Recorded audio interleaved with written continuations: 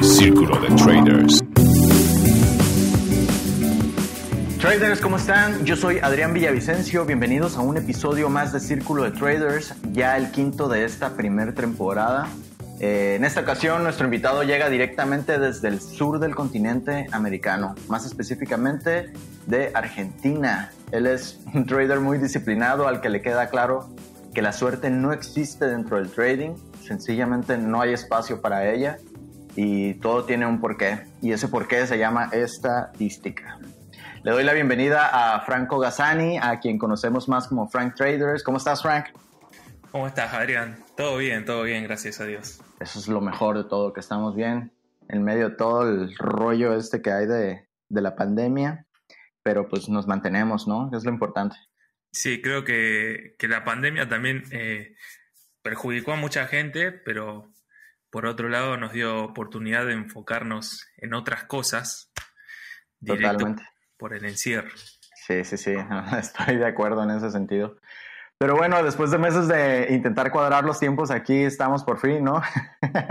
Mucho tiempo tratando de cuadrar esta entrevista. Eh, la verdad es que es un gusto que estés acá con nosotros. Gracias por darte el tiempo. Sé que eres una persona bastante movida y andas de un lado para otro, así que se agradece bastante.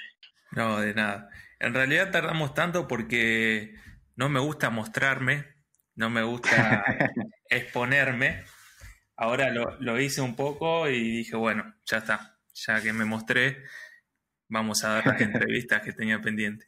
Perfecto, bien Frank, pues actualmente ya tienes bastantes años en esto, pero llegar hasta donde te encuentras ahorita estoy seguro que te costó bastante. Eh, ¿Cuál era tu ocupación antes de ser trader y posteriormente cómo es que te decides y dices, eso es lo que ya voy a hacer? Antes de ser trader, eh, trabajé en una multinacional en Coca-Cola específicamente, eh, en el depósito, en la parte de depósito. No tenía ningún trabajo administrativo, no estaba sentado en un escritorio cómodo con traje, sino que estaba haciendo fuerza en la parte donde estamos los rangos más bajos, por así decirlo. Y siempre fui emprendiendo un poco, agarraba de mi sueldo, intentaba emprender en un lugar, en otro, me iba bien a veces, otras veces mal, la vida del emprendedor es así, no, no te sale todo siempre. Las personas ven por ahí lo que te salió, pero lo que no te salió bien, eh, te lo guardas para vos.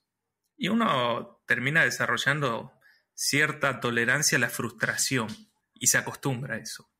Hasta que conocí eh, aproximadamente a los 20 años eh, las criptomonedas, por la publicidad exagerada que había en algunos foros en esa época.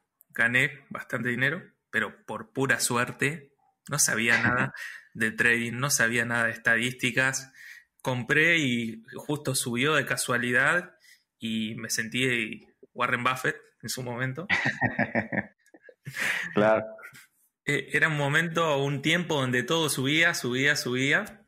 Digamos que todo, cada día tenía más dinero, por así decirlo. Entonces la confianza aumentó mucho. Hasta que llegado a un punto donde se planchó todo. Uno ya a medida que se adentra en todo el mundo de lo que son las inversiones, el trading, por ejemplo, las criptomonedas, eh, va conociendo así la realidad. No es como al principio que uno entra a ojos cerrados y espera que suba. Es como comprar dólares comparándolo con la moneda de tu país y dejarlo ahí porque yo sé que el dólar, entre comillas, es fuerte. Sí, bueno, era algo así lo que yo hacía. Eh, era, no había nada estadístico, no había ningún plan hasta que, bueno, a medida que uno va avanzando, empieza a conocer las cosas que tiene que tener en cuenta.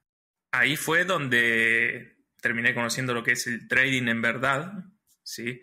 Eh, trading que, donde se tiene que usar stop loss, donde podés perder todo, donde podés ganar mucho también si te apalancás y podés perder mucho si te apalancás. Claro. Digamos que por videos de YouTube comencé a ver, no me acuerdo cuál porque había muchos, Miraba videos de Forex, de futuros, y me fui adentrando a poquito con los cursos que encontraba en línea, básicamente. Digamos que así comenzó mi, camino o mis primeros pasos en lo que es el trading. Lo que es las criptomonedas no los tendría en cuenta como primeros pasos en el trading porque eso fue mera casualidad. Exacto, yo también, de hecho, eh, como te comentaba ahorita fuera del aire, eso fue lo que me, me, dio a conocer, ¿no? Lo que era la actividad del trading. Eh, en aquel entonces lo veía como inversiones, pero bueno, eso te da como paso directo, ¿no? A saber cómo funciona la actividad y cómo se mueven los activos y demás. Exactamente. Digamos que por lo menos conoces lo que es un gráfico y las cosas que, que lo mueven. Pero eh, de algo hay que empezar. Sí, es muy difícil ir caminando en tu ciudad y chocarte con alguien que hace verdadero trading, que te lo enseñe como en verdad es. Por ahí hay mucha gente con muy buenas intenciones que te enseña lo que conoce, ¿sí? Eh, pero lo que conoce uno lo absorbe como si fuera la realidad total, ¿sí?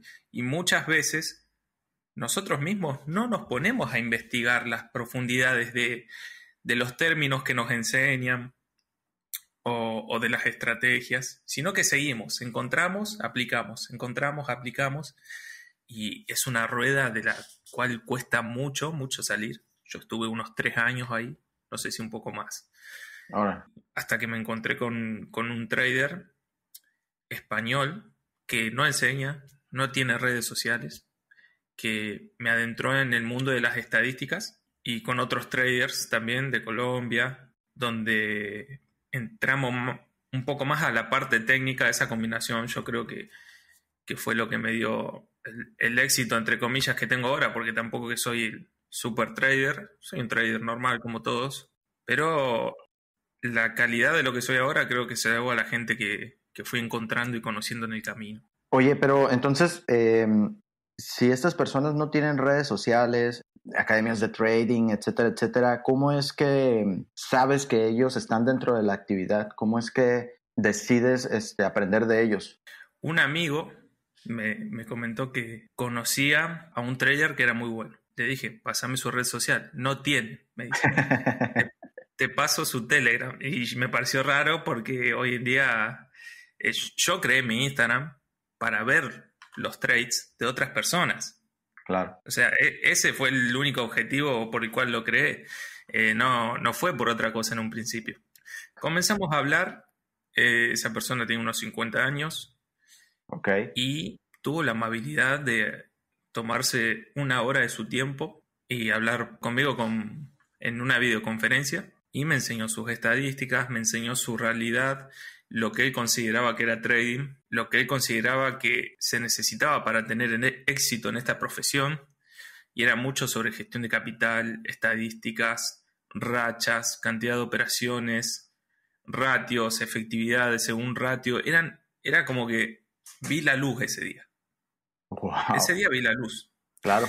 Eh, digamos que no me dio todo, porque luego está la parte técnica. La parte de los números es una cosa, luego tenés que encontrar la, la parte técnica, donde pulís esos números basados en las acciones que tomás en el mercado. no, no es que es tan fácil.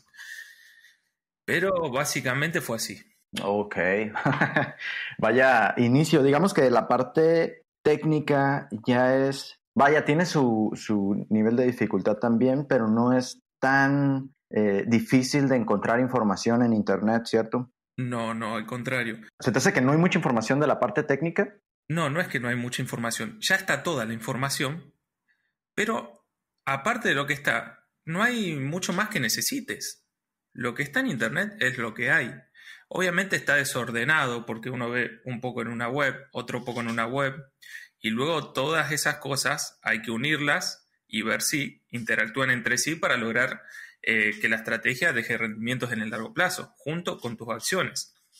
Pero en el mercado no hay más que soportes, resistencias, mercados alcistas, bajistas, impulsos, retrocesos. Hay que encontrar, algunos le llamarán doble techo, para mí son dos toques, es una resistencia.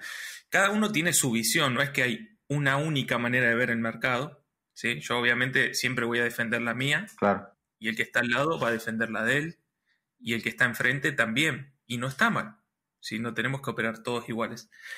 Pero creo que hoy en día la gente está en búsqueda de algo difícil, porque no se les puede meter en la cabeza que vivir del trading sea dos toques en un soporte, un rompimiento y unos parámetros que ajustar y ya respetar. No puede ser tan simple. Le tengo que agregar una media móvil, le tengo que agregar volumen, le tengo que agregar order flow. Conozco gente que lo utiliza y le va perfecto, ¿sí? Pero ya el problema entra donde llenamos o cargamos tantos nuestros gráficos de cosas que no son parte de nuestra estrategia. He tenido alumnos que, por ejemplo, le pregunto, ¿y esa media móvil para qué sirve? A ver qué fundamento me dan. Si me dicen, no, porque cuando cruza yo entro, perfecto, es un fundamento de tu estrategia. Pero si me dicen, no, porque me acostumbré. ¿Y el volumen qué buscas? No, sí, de vez en cuando aparece una barrita. Pero cada vez que entras eh, aparece una barrita relevante. No, de vez en cuando. Entonces, son cosas que nos distraen del precio. También lo que hoy en día la gente ve los indicadores como malos. Para mí no son ni malos ni buenos. Si forman parte de tu estrategia, tu estrategia está testeada y estás conforme, no hay que darles explicaciones a nadie. ¿sí? Y si no forman parte, tampoco. Ahora el problema es, como te digo, cuando los meten sin sentido. Exacto. O por buscar una confirmación más. Y la realidad es que donde tenés una estrategia y le agregas un indicador, ya cambió la estrategia. Ahora esa estrategia con ese indicador va a tener otra racha, va a tener otras ganancias, otras pérdidas, otro promedio de efectividad. Y si se lo sacas, va a cambiar de vuelta. Y si le agregas otro, va a cambiar de vuelta. Y uno nunca termina de testear nada. Ese es el problema. Exacto. De hecho, esa parte es súper importante y me gustaría que lo abordáramos un poquito más adelante porque creo que sí, de hecho, es punto clave de esta entrevista, la parte estadística que tú manejas, porque si te soy sincero, a mí me tocó ver mucho del material que tienes en Internet. Yo mismo he tomado muchas de las cosas que tú has publicado ahí, ¿no? Para aplicarlo dentro de mi operativa. La verdad es que te agradezco muchísimo porque también es, un panorama totalmente distinto y me gustaría que eso mismo le sirviera a otra gente que nos está escuchando en este momento. Van a ver, van a ver un poquito más adelante eh, de qué estoy hablando aquí con Frank. Pero bueno, eh, decides que esto es lo tuyo, ¿Qué te hubiera gustado saber en ese entonces que, ya sabes hoy? Que, el trading en realidad es simple, pero es difícil a la vez. No, no sé cómo explicártelo. Eh, que hay que respetar reglas fijas, que acá no se gana por, por tener mil horas de pantalla, porque he desperdiciado años haciendo las cosas mal y esos años no me sumaron nada. Me gustaría que me hubieran enseñado los números que hay detrás del trading. Yo creo que eso me hubiera ayudado demasiado. Porque yo era de los que le echaban la culpa a las emociones y a un montón de cosas, donde luego me, di cuenta que eran todos vacíos técnicos, que eran cosas normales que tenían que pasar, que eran cosas que, que no iba a poder evitar, literalmente. Pero que si me cuidaba en el largo plazo se iba a poner todo a mi favor. Ok, o sea, ¿cuánto tiempo pasa entre que conoces el trading, te pones a estudiar por tu cuenta y luego llega esta persona, uno de tus mentores, y te enseña la parte estadística. Y digamos que unos dos años y medio, más o menos. Wow. Fueron unos dos años y medio. Wow, o sea, entonces tu consistencia se logra en aproximadamente, ¿qué, ¿cuánto te tardaste? ¿Tres años y medio? Y aproximadamente sí. De tres años y medio a cuatro, por ahí. Fue un proceso bastante pesado, no digo por el estudio, porque creo que el que estudia y practica trading lo ama, es, una profesión que, te apasiona bastante. Claro. Pero sí fue pesado por, porque yo lo hacía paralelo con mi trabajo. Y mi trabajo tenía turnos rotativos, de una semana de mañana, otra a la tarde, otra a la oh. noche. Y imagínate que a veces llegaba a las 5 de la mañana a mi casa y el mercado abría a las 10 y 30. Claro la sesión americana. Y yo decía, si yo me acuesto ahora, yo sé que no me voy a levantar. Entonces, no dormía para operar. Operaba y después me acostaba a la tarde y me levantaba para ir a trabajar de nuevo. Wow. Y vivía así un par de semanas y obviamente te cambia todo el, todo el día, te cambia el humor, te cambia todo. Pero bueno, son sacrificios que uno hacía. Porque sentía que si dejaba de operar una semana por estar en X horario y luego arrancaba en la semana siguiente, me sentía que comenzaba de cero siempre. Pasaba dos semanas y parecía que comenzaba de cero y otra vez y otra vez. Entonces hacía eso.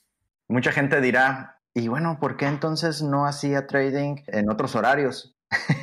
Ese es el meollo del asunto, traders. cuando tú haces, eh, sacas la estadística de tu estrategia en un horario predeterminado, esos números aplican a ese horario predeterminado y si lo haces en otro momento, tu estadística se sale por completo. Es decir, ya no tienes el porcentaje de efectividad, cambia. Claro. Podés tener, tener por ejemplo, eh, de la misma estrategia operada en el premercado o en la sesión europea y asiática y luego en americana. Y obviamente va a cambiar porque la americana corre más, corre más, tiene más velocidad, eh, más trampas. Y ahora no es lo mismo testear 24 horas del día un tipo de trade. Pero ¿qué sucede? Vas a tener que estar con una alarma en el celular para cuando el precio llegue a tal zona y vas a vivir preso del trade. Exacto. Entonces, preferí eh, operar una sesión específica. Exacto, ¿no? Oye, ¿y en algún momento dentro de este proceso llegaste a pensar, ah, creo que el trading simplemente no es para mí? Digo, es obvio que uh. superaste esa etapa, aquí estamos en este momento, pero ¿cómo fue ese periodo en el que la balanza comienza a tornarse a tu favor y tu esfuerzo rinde frutos? Eh, ganas de abandonar muchas veces, pero muchas, porque suele tornarse bastante frustrante.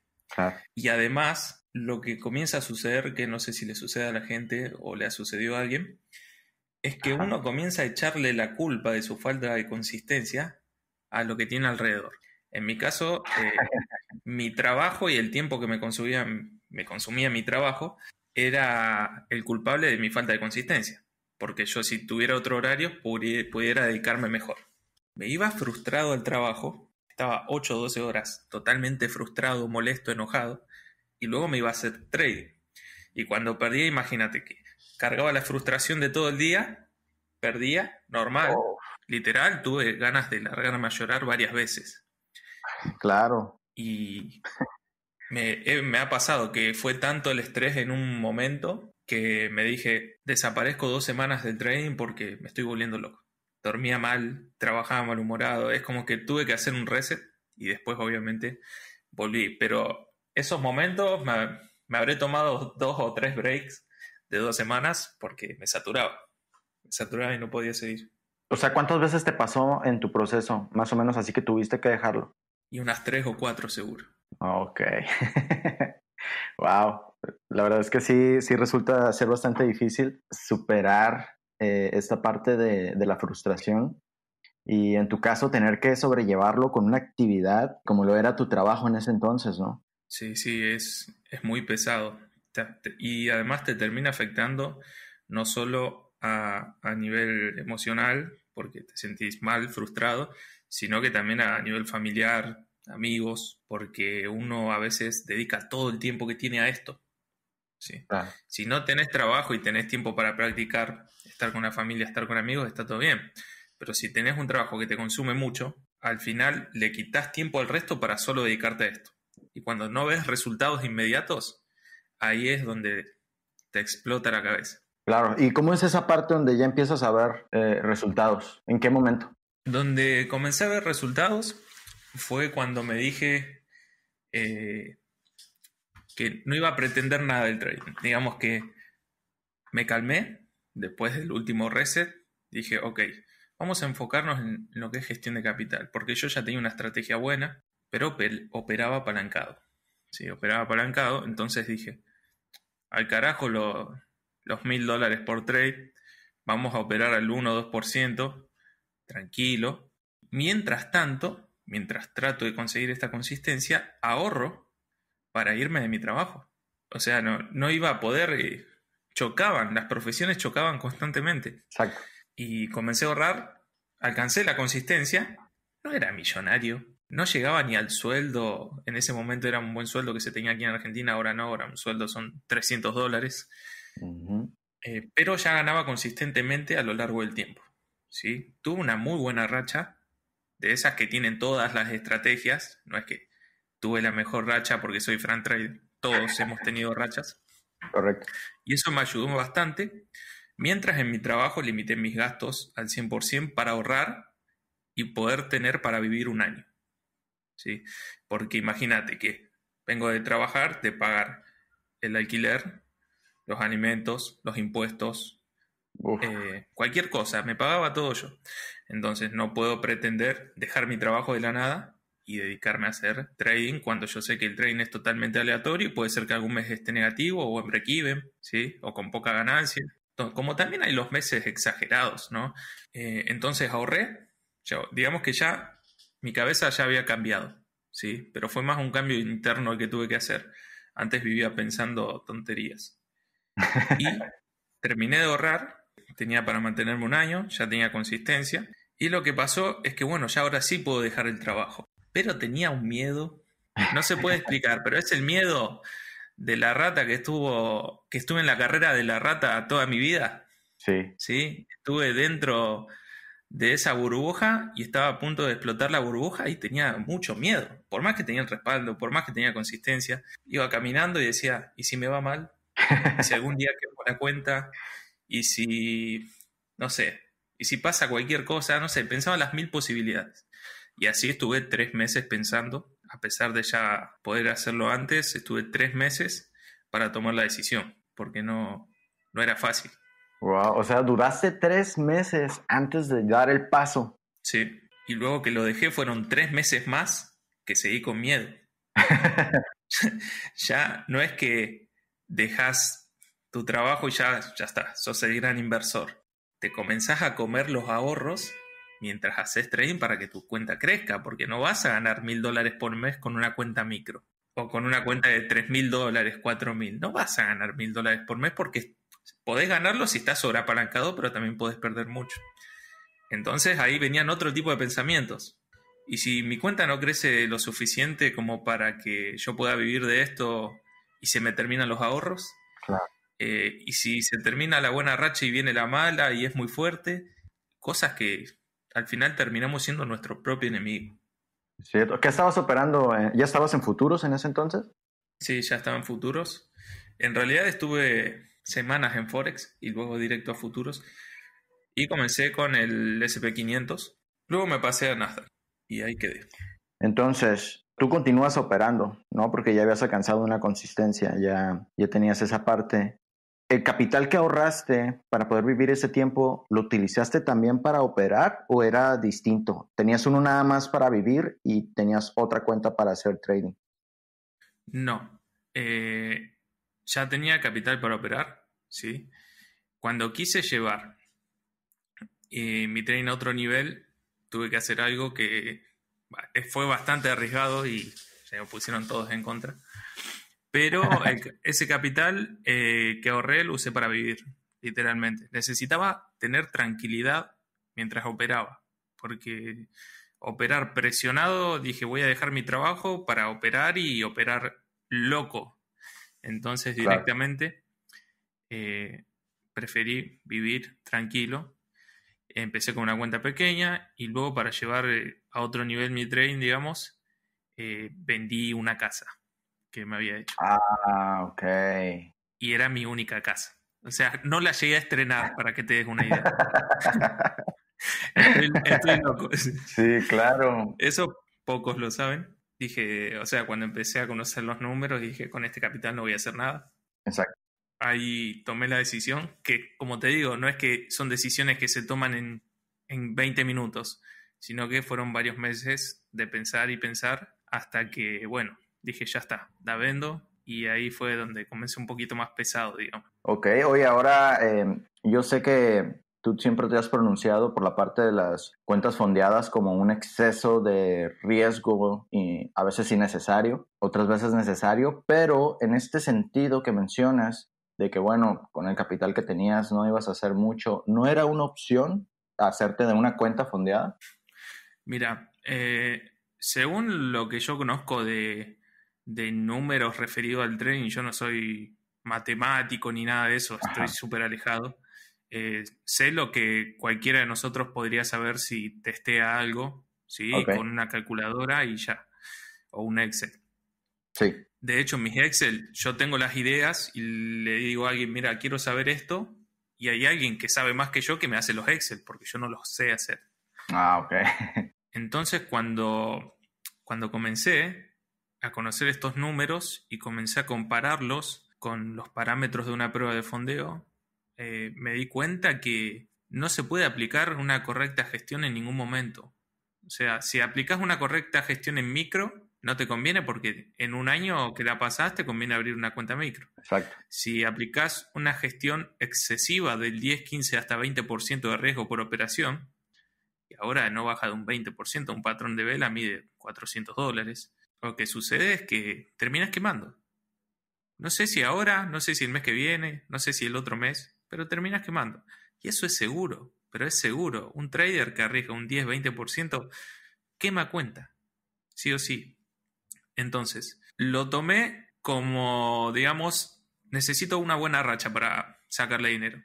La realidad es que tenés que tener una buena racha e ir sobreapalancado. Si querés ir tranquilo y gestionando como corresponde, directamente no conviene. Te conviene ir sobreapalancado y bueno, tratar de enganchar esa racha y si te va mal, reset, buscar esa racha de nuevo y si te va mal, reset hasta que la pegás, retirás un monto y ya. ¿Cuál es el problema? que yo lo hago consciente. Yo lo hago consciente en que me meto. Yo sé que hoy opero una semana y tal vez la quemo a fin, el fin de semana o, la paso el fin de semana. Y si la quemo me da igual porque yo sabía, yo sabía lo que podía pasar. Claro.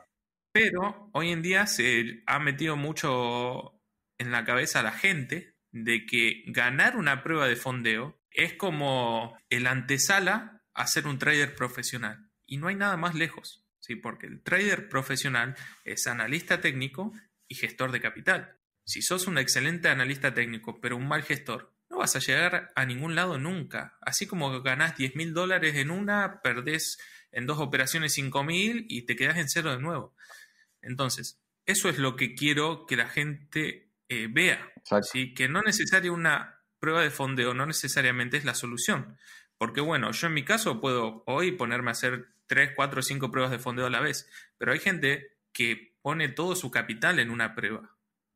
Y tal vez personas de Venezuela o de bajos recursos que ahorran durante meses para tener que pagar dos mensualidades. ¿sí? Pensando que las pruebas son un santo grial y no son un santo grial.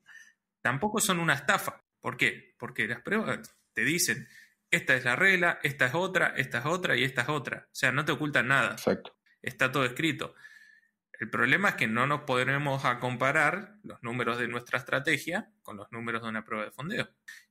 sabemos que no, vamos a tener una racha eterna. Sabemos que las probabilidades no están a nuestro favor y en el trading todo se trata de probabilidades, ¿sí? De seguir, estar ahí enfrente de esa probabilidad constantemente, independientemente de si sale positivo o no. Ahora, si tratamos de estar enfrente de la probabilidad pero nos sobreapalancamos, la quitamos. Claro. Entonces, la única probabilidad que tenemos es que en algún punto la perdamos, literal. Y estamos hablando de que se queman las cuentas directamente operando bien, siguiendo el plan, cumpliendo con las cantidades de operaciones.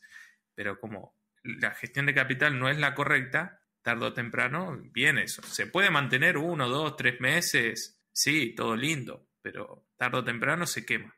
Ahora, e, esa parte cuando recién inicias la prueba, ¿no? Cuando la estás testeando, pero una vez que pasas la prueba de fondeo, ¿ya es aplicable en la gestión del riesgo? No, sigue siendo igual. ¿Por el drawdown? Claro, porque tenemos eh, dos tipos de drawdowns. Tenemos el trailing drawdown, que es el que ganas 100, sube 100. Ganas 200, sube 200. Y luego tenemos el del tiempo real, ¿sí? Entonces, si tienes una cuenta de 50 que generalmente te dan 2.000 de capital, imagínate que si vos ganás 1.500 dólares, no es que ahora tenés 3.500 y tenés un margen que te permite comenzar a hacer de a poco una, una buena gestión. ¿Sí? Porque si no tuviéramos el trailing, eh, podríamos, si tenemos una buena racha, ya nos separamos del punto de partida y podríamos comenzar a hacer una buena gestión. Pero lamentablemente eso te sigue. Entonces, ¿qué sucede? Cuando vos tenés una buena racha, eso te sigue, pero cuando perdés, eso no baja. Exacto. Se queda donde está. Entonces, nunca tenemos más capital, por más que ganemos. Y aparte, tenemos el drawdown en tiempo real, que aparte que te sigue el trailing, te sigue ese también. Y o sea que de pasar a tener 2.000, tal vez en dos días, tres, tenés 1.000. Eh, con varias operaciones, dependiendo del sistema, que terminaron en break-even y estuvieron positivas, te liquidan. Porque Supongamos que en el mes tuviste 10 operaciones perdedoras. Dudo mucho que esas 10 operaciones fueran directo al stop loss. Generalmente a veces corre un poco. Entonces, no solo te restan cuando ganas, sino que te restan cuando perdés. Te resta la ganancia, la pérdida, y aparte te resta lo poquito que corre ese trade. Exacto. Entonces, es, es un cúmulo de probabilidades en tu contra que en el largo plazo, y hablo del largo plazo porque no te digo que, que no las puedas pasar, cualquiera puede pasarlas, Ok. eh, en el largo plazo no te va a dejar ganar. ¿sí? No se puede vivir de una prueba de fondeo y eso te lo aseguro.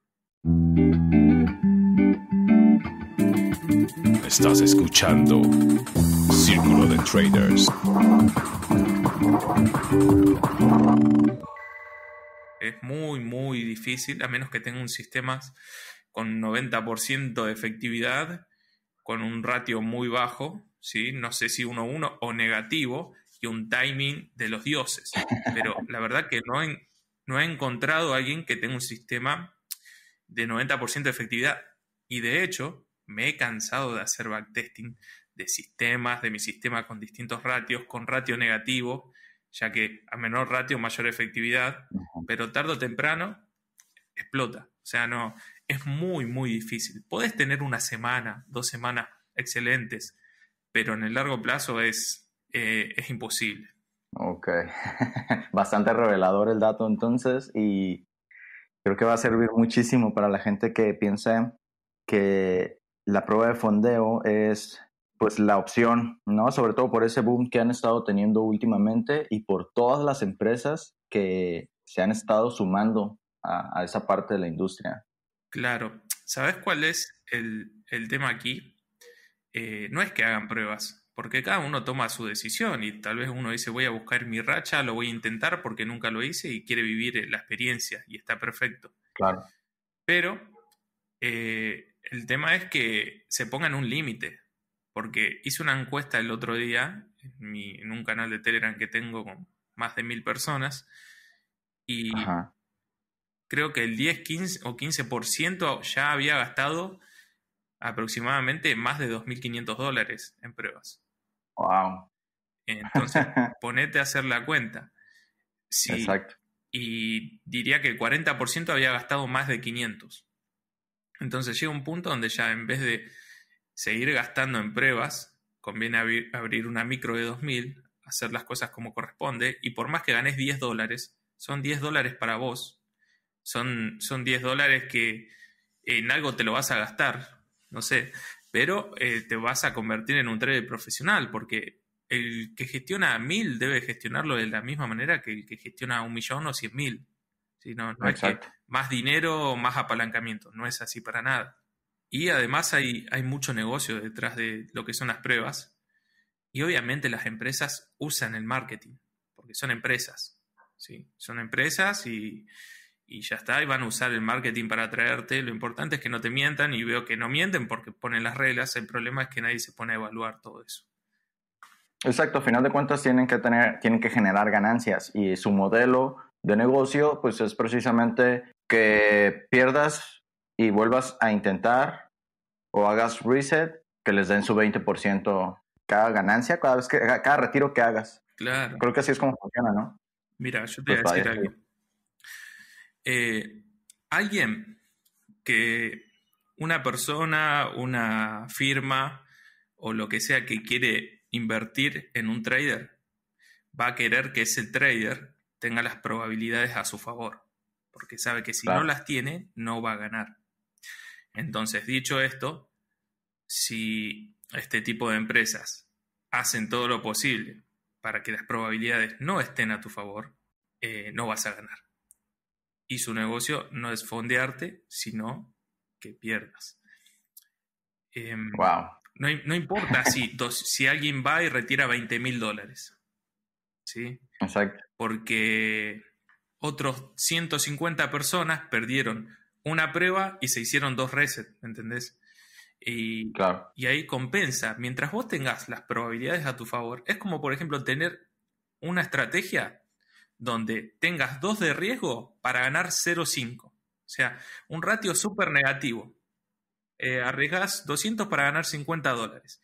Pero vos sabés que los números, la efectividad, eh, te avala todo. Y es una estrategia rentable por más que sea así. Bueno, te va a dar igual perder dos operaciones o tres seguidas, 600 dólares, si sabes que vas a ganar las 20, 30 que sigan. ¿Sí? Exacto. Algo parecido sucede aquí. Ok. El otro día, de hecho, escuchando a Mike Bellafiore, no sé si lo ubicas, es un autor eh, muy reconocido de libros de trading como One Good Trade, The Playbook, algo así más o menos. Bueno, él mencionaba que uno de los aspectos más difíciles que él reconocía en el mundo del retail trader, ¿no? o, sea, o sea, nosotros, era la falta de capital y que esto muchas veces limitaba el que un operador desarrollara por completo sus habilidades. Ahora, hay que tomar en cuenta que él se ha movido en Wall Street desde hace décadas, ¿no? Y que obviamente ve todo desde una perspectiva institucional, pero, pero ¿tú qué opinas al respecto en este sentido? ¿Es, realmente el capital una limitante para desarrollarte como trader? Mira, limitante para desarrollarte diría que no. Eh, ¿Por qué?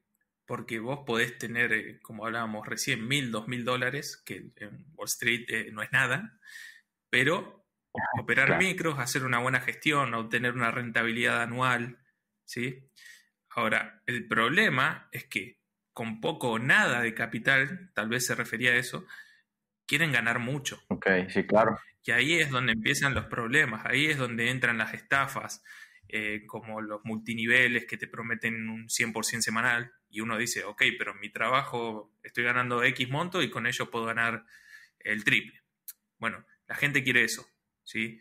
Y de hecho eso es lo que prometen un poco las empresas de fondeo, es decir, con 100 dólares puedes tener una cuenta y puedes retirar 1000 dólares por mes. Es una locura. O sea, estamos hablando de que Warren Buffett hace un 20% anual y con un capital de 2000 quieren retirar el 50% mensual. Exacto. Entonces se desvirtúa. Pero ¿qué pasa? Que uno al ver, no, pero son 2000 dólares. Pero mira mi stop, es de 200 dólares no pasa nada. Y, sí, si lo ves así es poco dinero, pero comparado en porcentaje con el tamaño de tu cuenta es una locura. Y ahí es donde terminan eh, planchados, digamos. Exacto. Por el mercado. Exacto. Ok, eso es súper importante también para que se tome en cuenta. Ahora, en muchas ocasiones eh, he visto en las publicaciones que haces en tus redes, haces mucho énfasis en la parte medible del trading es decir, la estadística propia, ¿no? Que es lo que había comentado hace rato que, que me gustaría que nos pudieras platicar aquí. ¿Podrías explicar un poco de qué se trata esto para quienes nos escuchan? Eh, ¿Cómo fue para ti al inicio? Digo, ya comentaste que conociste a, a, este mentor que te, te enseñó la parte de los números, pero ¿cómo pueden iniciar desde hoy aquellos operadores que aún no conocen sus propios números? Y lo fundamental sería que agarren una planilla Excel que investiguen qué es un ratio, que sepan de antemano la posible mala racha consecutiva que pudieran llegar a tener, no es seguridad de nada. O sea, si en el backtesting te da 5 y luego tenés 6, puede pasar porque es todo totalmente aleatorio. Exacto. Lo que me sucedía a mí es que yo perdía tres operaciones consecutivas y yo pensaba que era culpa mía. Y yo decía, pero si estoy siguiendo las reglas, ¿qué estoy haciendo mal? Y no estaba haciendo nada mal. O sea, era normal del trading, pero yo no lo aceptaba. Entonces, eh, la parte estadística creo que es como el cimiento de toda tu carrera como trader. O sea, es algo que sí o sí tenés que saber antes de entrar a real, antes de entrar a prueba, antes de, de abrir una cuenta con X monto, ya que de eso va a depender el tamaño de, cuenta que vas a necesitar para operar X estrategia, porque hay estrategias, como decimos, está la parte analítica y está la parte de capital. Exacto. Y son un 50 y 50, diría, porque una no funciona sin la otra. No funciona y nunca va a funcionar, porque de eso se trata el trading. De hecho, mira, te, te hago un comentario sí. de una persona que, que me decía en su momento, que al final le terminé, terminé dando el curso gratis y ahora está operando en real. Eh, me decía, Fran, ya llevo hecho cinco pruebas. Practico tres meses en demo, me voy a real, a prueba y la pierdo. Demo de nuevo, gano, soy consistente, me voy a prueba y la pierdo. Y sí, ¿qué sucedía? Que la demo es de 100 mil dólares y la prueba de 2 mil. Vale. claro, entonces, eh, lo que hizo fue abrirse una cuenta micro, comenzar a gestionar como corresponde, conocer sus números, sí o sí lo mandé a hacer backtesting, entendió las rachas negativas, entendió que puedes tener semanas negativas, y es normal, semanas en break-even, que hasta podés remontar directamente en los últimos 4 o 5 días del mes y estar todo el mes negativo. Y ahora diría que es un trader profesional con cuenta micro. no, no, gana miles de dólares, gana cientos, porque tiene una cuenta micro, pero es un profesional. Y yo sé que el día que, que quiera manejar más capital, lo va a hacer correctamente y ya no se va a ir a tirarse al barro a ojos cerrados como antes. ok. Ok, eso yo creo que nos da una perspectiva bastante eh, clara de cómo, de cómo puede afectar esta parte de, conocer tus números y sobre todo eh, la parte de la gestión. Creo que es demasiado importante y la gente no le da la importancia que necesita. Es decir, piensan que es más importante una estrategia, el análisis a lo mejor, que la gestión misma del capital, ¿no? ¿Sabes qué, sucede mucho? Que por ahí, eh, si vos pones la palabra trader en Instagram, se te van a aparecer 350 mil usuarios. Y seguramente el 80% tenga operaciones. Operaciones y cuáles publicamos siempre las que van bien, las que corrieron mil, dos mil, tres mil, cuatro mil. ¿Qué pasa? El que no conoce sus números, no conoce de backtesting, no conoce eh, sus estadísticas propias, eh, dice, no, pero mira, esta persona publicó hoy uno de 3.000, ayer uno de 4.000, antes de ayer uno de 5.000. Pero uno cuando se va a hacer backtesting, sea de la estrategia que sea, se va a dar cuenta que a menor ratio, mayor efectividad. ¿sí? Y a mayor ratio, ¿sí? esos recorridos exagerados, menor es la efectividad. Es decir, que tal vez podés perder 7 u 8 de cada 10 operaciones y de igual manera seguir positivos. Lo que sucede es que esto no lo dicen. Entonces la gente, nuevamente, si tuvieran sus números y saben, ah, mira, puede pasar esto, pero tengo que estar tranquilo. Pero como no lo saben, eh, se meten, pierden, cambian de estrategia, etcétera, etcétera. También se ha normalizado como que el backtesting es operar solo en demo. Y no es solo operar en demo. O sea, eh, operar en demo no te asegura nada. Imagínate que para hacer un backtesting en demo todos los días vas a tardar un año. ¿Qué vas a estar? ¿Un año para darte cuenta si lo que estás operando sirve o no sirve? No sería fácil. Vas a perder un año completo. Exacto. No sé si todavía estás operando cinco cuentas, seis cuentas al mismo tiempo. No, ya está. Ahora mismo estoy operando una sola, la mía personal. Ok. Eh, voy, a ver si abro un nombre de la empresa, pero ya decidí relajarme Ajá. Y, estar tranquilo. Así como parece que estoy en todos lados. Voy con el análisis premercado, publicación acá, publicación allá, etcétera. Tengo un equipo bastante grande Ok. Eh, de diseñadores, de, mentores, de, bueno, la gente que me hace los Excel, editores de video, ahora vamos a subir contenido bueno a YouTube. Claro. Y, y soy bastante vago. O sea, toda la gente que trabaja para mí es mucho más inteligente que yo. Yo si hay algo que, no tengo es por ahí miedo. No tengo miedo a tomar riesgos o a dar el siguiente paso. Pero si uno quiere hacer todo solo, se satura y no, llega a ningún lado. Por eso siempre trato de buscar gente capacitada, que sepa más que yo y en verdad me pueda ayudar. A veces me sorprende, a veces me sorprende que, esa gente esté en cierto nivel y no del siguiente paso, porque los veo con tanta capacidad, veo las cosas que hacen y digo, ¿por qué no haces esto? ¿Por qué no haces lo otro? Eh, pero bueno, eso depende mucho de la persona. Exactamente. Sí, va en ese sentido. Em, pero entonces, antes, antes cuando tenías toda esta gran cantidad de cuentas, ¿cómo era tu rutina? ¿Y cómo sobrellevabas este nivel de operación?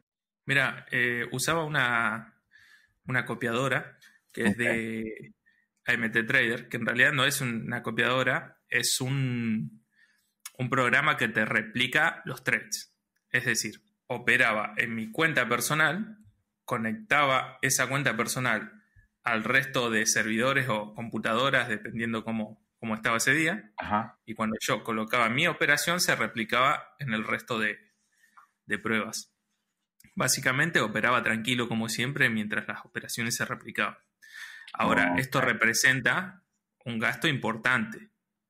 Imagínate que cada prueba va de 100 a 150 dólares. O sea, eh, no es que yo recomiendo que hagan eso si ya son rentables, si ya tienen su cuenta, si están tranquilos, si están empezando y todavía no pasaron ni una prueba de fondeo, no, vayan a hacer cinco a la vez. Eh, es lo ideal.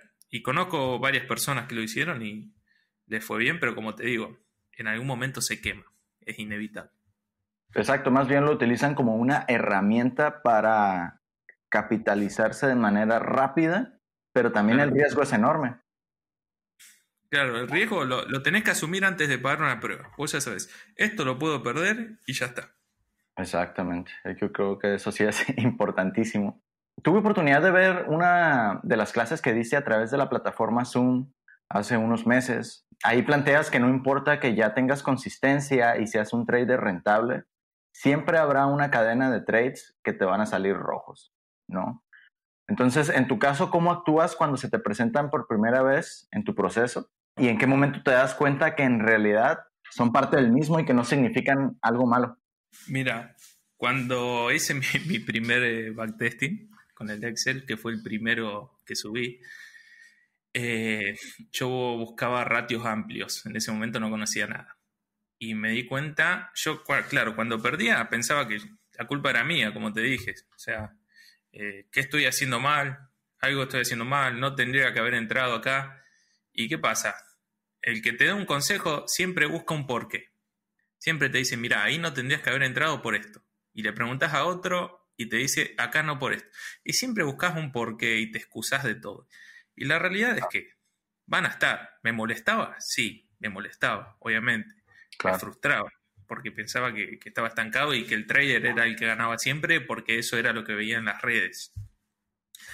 Em, y, ahora normal. O sea, yo sé que el largo plazo es lo que importa, que una serie de cinco operaciones no va a ser eh, la rentabilidad de mi año.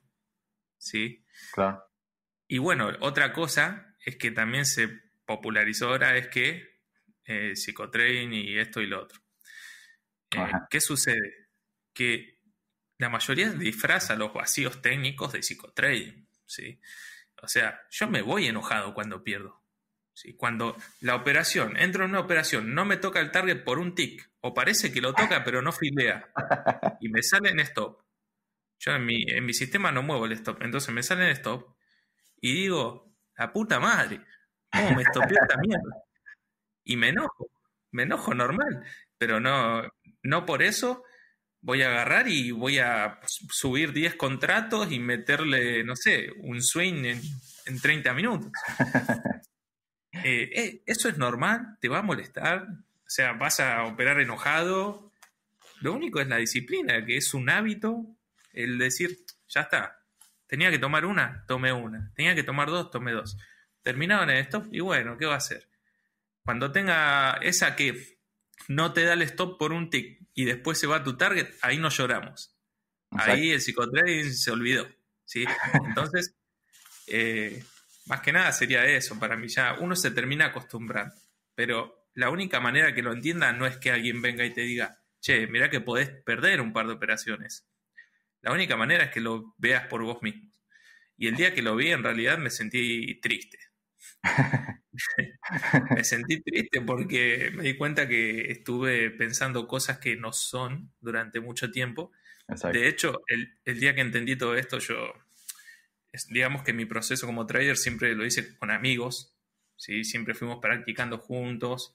Y el día que entendí todo esto y saqué Excel y saqué los números y saqué ratios y rachas y esto, lo otro, y hablamos por Zoom y les mostré todo y digo, muchachos, eh, esta es esta es la realidad, esto no se puede, así no se puede. Y recuerdo que ese día se fueron todos mal. O sea, todos mal. claro. Porque tenían los sueños de ganar mucha plata en poco tiempo. Y, bueno, uno después pasa ese proceso, unos días, se calma y, sigue dando, porque es lo, que ama, ¿no? Sí, claro, es parte de la... Pues se convierte en una pasión a final de cuentas y, todo el tiempo invertido y, todas estas ganas de, superarte. Eh, eso esa parte es real, el superarte, porque a final de cuentas te obliga a superarte como, como persona. Hay un desarrollo personal real en esa parte del trading. Te conoces mucho a ti mismo. Claro, mira, hay algo que, yo mientras trabajaba y hacía trading, eh, intentaba ser consistente, todavía no lo era. Ajá. Me, decía, habían pasado como dos años, ¿qué pasa si esto no funciona? Porque ya la cabeza me cambió demasiado. O sea, yo antes mi futuro tal vez era jubilarme en esa empresa. ¿Sí? Porque pensaba así, yo pensaba que esa era mi mejor opción.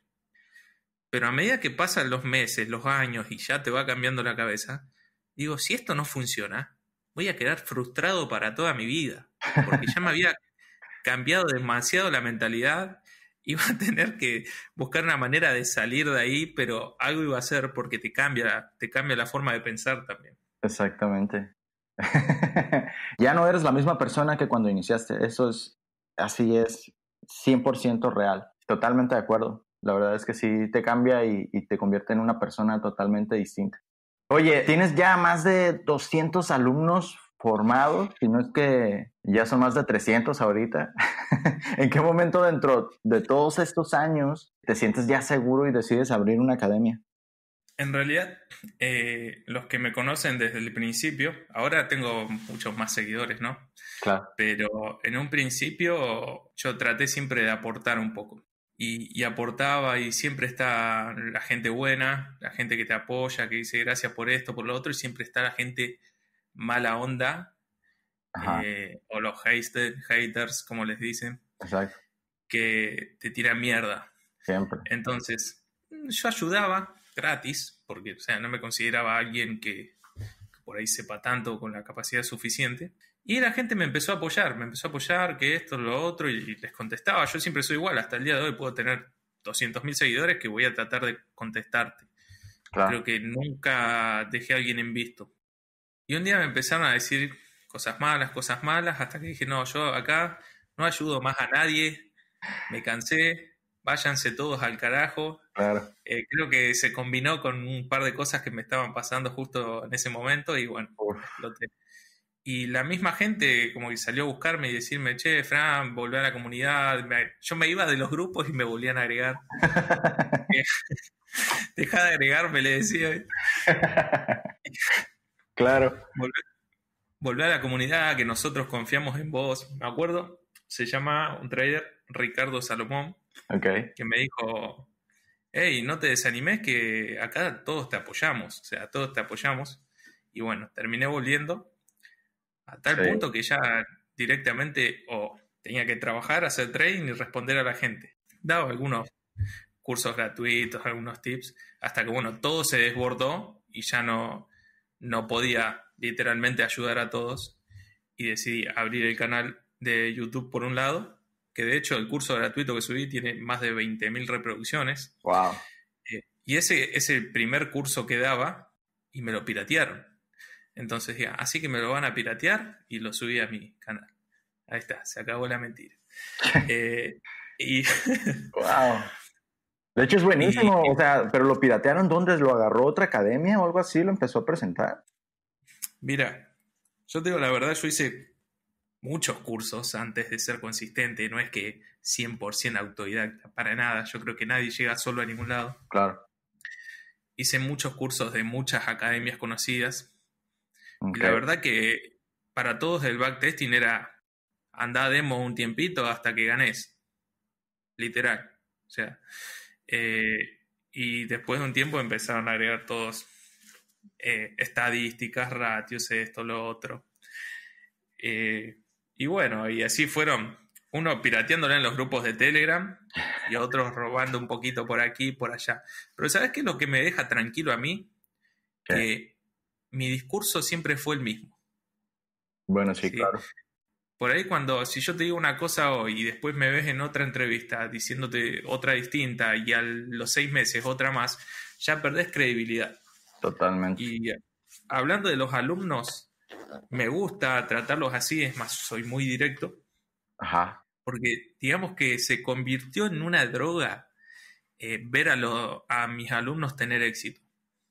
Literal. Ah, eh, es, eh, porque no es la misma satisfacción vender un curso y ganar dinero a directamente ver que alguien está ganando dinero con lo que le enseñaste, la gratitud, los mensajes que te mandan, eh, no lo hubiera logrado sin, tu apoyo y esas cosas, creo que es el combustible para mí. De hecho, por tratar de mantenerme en una línea, estoy perdiendo bastante dinero porque eh, tal vez las personas con pocos seguidores o que por ahí no son tan conocidos eh, no experimentan cierto tipo de cosas, pero el negocio del trading, o sea, el gran negocio del trading no es el trading, es literal eso se puede ganar mucho más por detrás, ¿sí? Pero es muy turbio, muy turbio. Brokers eh, con poca regulación, empresas que te contactan para que digas X cosa a cambio de dinero. La verdad que prefiero mantener mi, identidad como sigue hasta ahora, que yo creo que eso me, va a mantener en el tiempo, a venderme por unos dólares.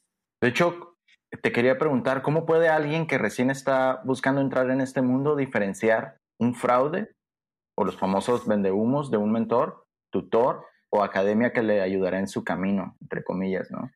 Por ejemplo, una de las cosas que, yo veo es que, te digan que vas a vivir del trading después del curso. No es así. ¿Por qué? Porque yo, por ejemplo, hay varias, ¿no? Pero yo les doy mi estrategia a mis alumnos, les enseño a leer el precio y estamos un mes resolviendo dudas. ¿sí? Porque es algo totalmente distinto. Una vez que resolviste las dudas, recién ahí comenzás a aplicar. Y una vez que comenzás a aplicar, tenés que encontrar esa consistencia. Entonces, no es que eh, haces el curso dos horas, cuatro, ocho o diez y ya está. ¿sí? Otra que también veo que le dicen, mi estrategia sirve para todos los mercados. Mentira, totalmente mentira. Eh, en cada mercado se debe testear la estrategia. En algunos mercados funcionan mejor, por ejemplo, las trampas, en otros los tests, en otros los breakouts, pero no siempre todo funciona en todos, no todos los ratios son recomendables en todos los mercados. Eh, entonces son cosas que, de las cuales deben dudar, pero lamentablemente creo que es imposible que un novato que recién empieza pueda discernir entre lo que es bueno y lo que es malo. Lo digo porque me ha pasado a mí. Exacto. Yo también caí y uno recién se da cuenta de todas estas cosas ya cuando transitó un camino, cuando tiene más conocimiento, cuando se tropezó. Pero es muy difícil, es como cuando nuestros padres nos dan un, consejo y le decimos, sí, mami, quédate tranquila. Y después vamos y hacemos lo contrario. Bueno, es así. Es así. Una vez que te das la cabeza contra la pared, ay, me parece que tenía razón mi mamá. Claro. Eh, es algo así. Sí, suele pasar bastante. Pero bueno, tienes toda la razón. Eh, cuando recién iniciamos, yo creo que todo el mundo nos topamos con el bombardeo extremo de publicidad y te hacen creer una vida extrema de lujos para después darte cuenta que, pues bueno, no, no funciona de esa forma, ¿no? Entonces, se convierte en un filtro también porque es ahí donde tú decides si continúas o de plano te dedicas a otra cosa. Sí, sí, digamos que es todo un riesgo porque es un mundo totalmente distinto, un sistema totalmente distinto al tradicional. Es tomar la decisión y comenzar a caminar. Bueno, estabas comentando esta parte de, te da cierta satisfacción saber que tus alumnos, eh, la gente que se ha formado contigo, tenga éxito, ¿no? Eso te da mucha satisfacción. Entonces, pues bien, tú conoces este famoso dicho en el que el alumno supera al maestro, ¿no? En tu caso, ¿existe al día de hoy alguien que consideras que es un crack y que ya hasta opera mejor que tú? Sí, sí. wow. Eh, sí, sí, hay meses, por más que operemos todos la misma estrategia, eh, no vamos a tener los mismos resultados. Es más, podrías estar operando al lado mío y sabes que a fin de mes vamos a tener diferencias seguro. Porque también está la parte donde uno decide cuándo entrar y cuándo no. Pero tengo un alumno, una persona a la cual le, le regalé el curso, está hecho un animal, una bestia. La verdad que eh, es de Colombia, de Cali. La verdad que súper orgulloso y súper contento. La verdad que alegra mucho ver ese tipo de cosas. Wow, pues sí se puede entonces. Es, es realizable superar a tu maestro. sí, sí, es totalmente normal. Somos humanos, somos humanos. Son, esto se trata de decisiones. Puede ser que un mes eh, me vaya muy bien a mí y otro mes te vaya muy bien a ti. Eh, es todo aleatorio. Ok. Tenemos preguntas, preguntas que nos hicieron llegar eh, a través de Instagram. Entonces, pregunta Fabricio Campo G. ¿Cuáles son tus principales fuentes de motivación e inspiración? Motivación. Antes quería tener una vida mucho mejor que la que tenía antes. Ahora quiero tener una mucho mejor que la que tengo ahora y supongo que en un futuro querré tener otra. Y, como inspiración tengo varios traders eh, y son todos de Latinoamérica. No, no te voy a decir, por ejemplo, Warren Buffett, no te voy a decir eso, ¿no? porque no. ya sé. son para, para mí no son, eh, son grandes, son gigantes, pero no es que los sigo así. Uno, los conocemos todos. Eh, uno es Israel, Israel Meléndez de Colombia. Okay. es bastante reservado, no muestra mucho. Es más, yo lo molesto para que muestre. Recién ahora me está haciendo caso. Y otro trader que para mí es uno de los mejores también y súper transparente es eh, Trader Sociologist, eh, que está en Instagram también. Eh, ah, me parece que es uno de los más transparentes de, del entorno latinoamericano que conozco. Ok, súper bien. Perfecto. Vamos entonces con la siguiente pregunta.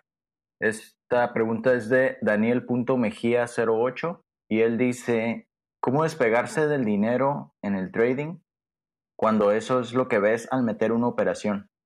Y bueno, ahí debería entender eh, de probabilidades, de números, o sea que no va a poder ganar siempre. Si quiere ganar siempre va a tomar malas decisiones, literalmente. Y como yo hice en un momento, también ahorrar, tener un respaldo para no tener esa necesidad urgente de terminar positivo. Porque por más que uno entienda eh, la aleatoriedad del mercado, cuando necesita el dinero, desea con todo su corazón terminar positivo, porque en verdad lo necesita. Claro. Entonces lo mejor por ahí es tener un colchón monetario para estar tranquilo. Y no hablo de miles y miles de dólares, un colchón, como para decir, no me voy a volver loco al meter una operación. O sea, además es diferente dependiendo de la localidad donde vivas. En, cada país yo creo que varía mucho las necesidades, ¿no? y cuánto necesite alguien para vivir acá en Latinoamérica con 500, 700 dólares vivís, vivís normal, bien. No, no una vida de lujo, pero vivís bien. Eh, pero tengo alumnos en Estados Unidos que para vivir y mantener a su familia necesitan ingresos de 5 mil dólares. Y los tienen, porque allá son otros los sueldos. Pero imagínate, digo, bueno, si vos querés vivir y hacer eso del trading, anda preparando la cuenta de 150 mil dólares. Porque no, es lo mismo, necesitas prácticamente 10 veces más. Sí, Cambia todo ahí. Ok, perfecto. Excelente respuesta. Vamos a la siguiente entonces. Dice Gianloga21. ¿Cómo le harías para que las personas ajenas a esta industria puedan creer en el trading como una forma de trabajo? Mm, y es muy difícil eso es muy difícil, porque diría que hay más estafas que personas sinceras. Y al ser un ambiente tan contaminado, va a ser difícil decir, ok, esto se puede. Porque seamos sinceros, ¿quiénes tienen más difusión? Los que tienen más seguidores, ¿sí? los que ostentan más. O sea, nadie va a mirar a un trader que te dice, mira los números si al lado tenés al que tiene el Lamborghini y te dice, mira lo que retiré hoy. Exacto. Eh, es, la, realidad. Claro, pero ¿será necesario realmente hacer que, las demás personas entiendan? Es decir, el, trading es una actividad solitaria, ¿no? En cierto sentido, porque eres tú quien está tomando las decisiones en, ese momento. Entonces, ¿para qué quieres que alguien más te crea que estás trabajando en algo, pues deja que tus acciones eh, hablen por sí mismas y pues lo demás no importa. Claro, yo creo que el trading es más una cuestión de superación. Si una persona no es emprendedora y no tiene muchas ambiciones, eh, no va a hacer nada.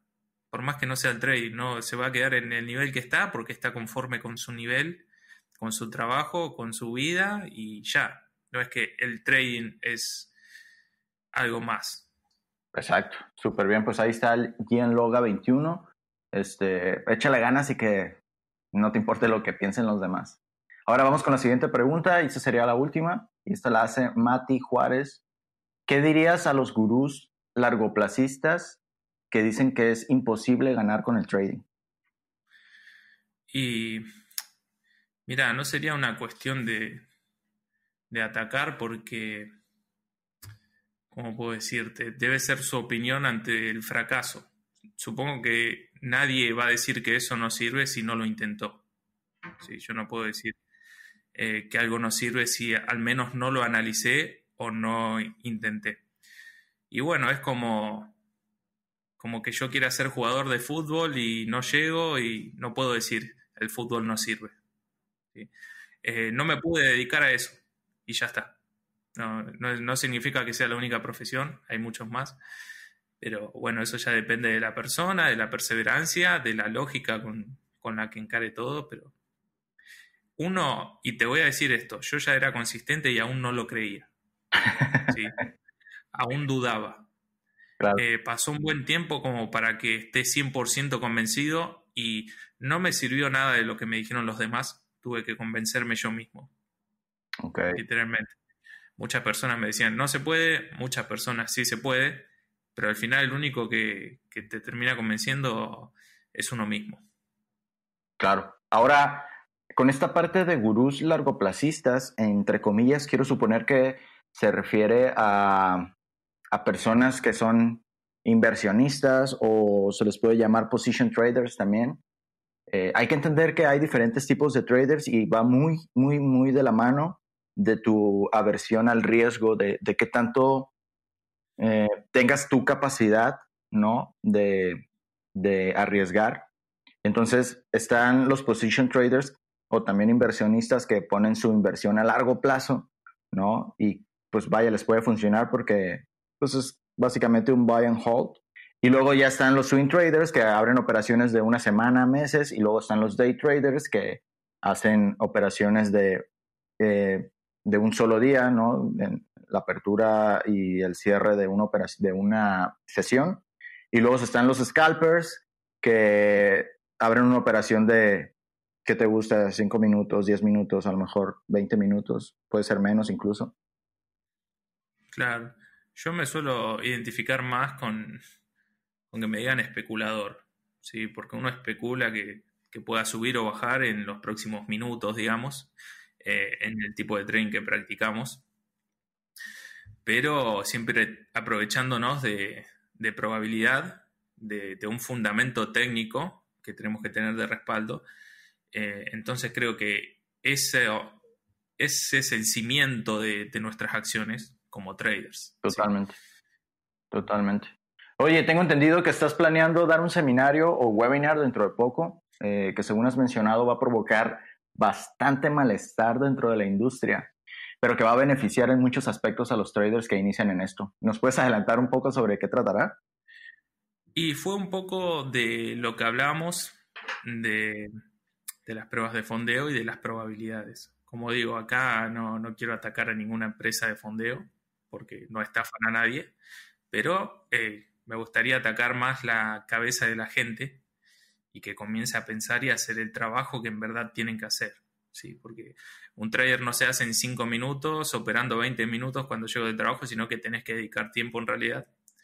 Y uno por ahí dice, pero trabajo todo el día. Y bueno, entonces, o te quedás con tu trabajo para siempre o dedicas el resto del día a estudiar lo que tenés que estudiar, porque es una realidad que mirando el mercado 20 minutos al día no vas a ser trader profesional.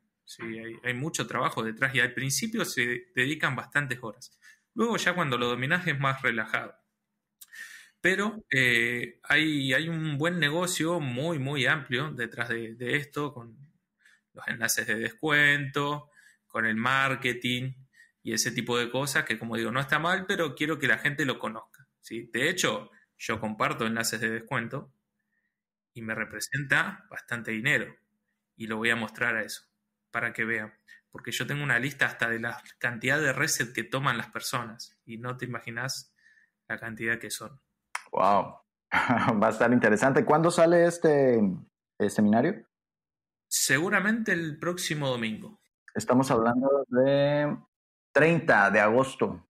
Así es. Domingo 30 de agosto. Entonces, ustedes que nos están escuchando en este momento, porque estamos hablando de que este podcast va a salir el próximo 28 de agosto, viernes 28 de agosto. Este próximo domingo no se pueden perder este seminario que va a dar Frank. De verdad, la calidad de la información que sube Frank a sus plataformas es realmente la calidad de un curso de trading bien hecho, así que de verdad no se pueden perder este seminario, este webinar e incluso tienen que ir a ver el material que ya ha subido en su canal de YouTube. Y si lo pueden seguir en redes sociales también, porque a cada rato sube consejos que son muy valiosos. Y se los estoy mencionando porque yo mismo los he tomado y me ha servido muchísimo en mi operativa. Mi estimado Frank, pues te agradezco una vez más al haber estado aquí con nosotros en Círculo de Traders. ¿Hay algo que quisieras agregar para el cierre de este episodio? Nada más, bro. Creo que dijimos lo que teníamos que decir. Perfecto, perfecto, claro. Pues entonces, ahí está. No, no olviden seguir a Frank entonces en sus redes. Frank, muchas gracias. Eh, yo soy Adrián Villavicencio. Esto fue Círculo de Traders y hasta la próxima. Recibe nuevas entrevistas directamente en tu email Suscríbete gratis en circulodetraders.com y entérate de nueva información y episodios a través de Instagram, Twitter y Facebook en arroba Círculo Traders.